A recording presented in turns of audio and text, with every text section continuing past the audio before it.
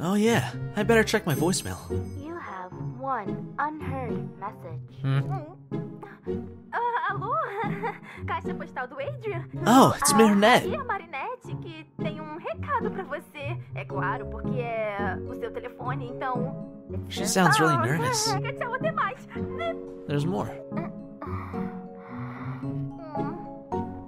O que você queria que eu dissesse? Oi, gatinho, é a Marinette. Eu te convidaria pra ir ao cinema, mas eu tenho uma quedinha por você. E o único jeito de falar com você sem espumar pela boca é por essa porcaria de celular. Muito ridículo, né? Adrian, give me cheese.